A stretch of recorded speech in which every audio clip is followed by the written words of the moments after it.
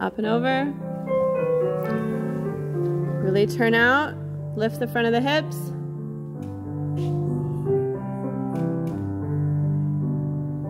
And turn toward the bar. Bend one knee. Chin to shin if you want to.